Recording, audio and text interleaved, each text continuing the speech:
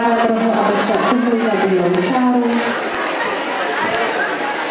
Ještě se více posuneme, ještě posuneme se od bílé čáry, od mají tady všichni dostatek prostoru.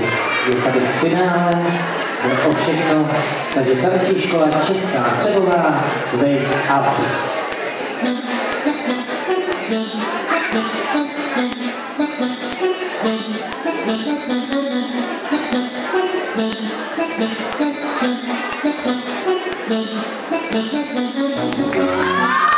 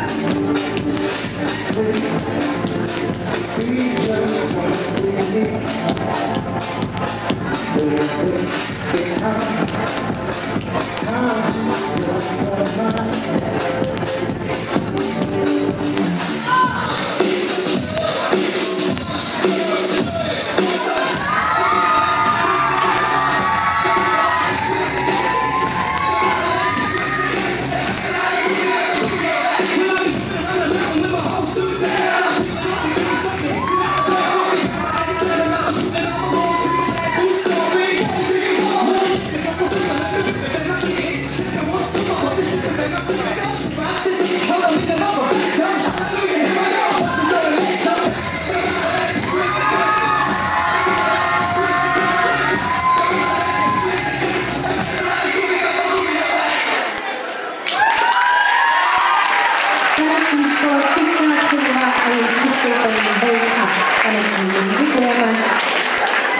Poprosimy.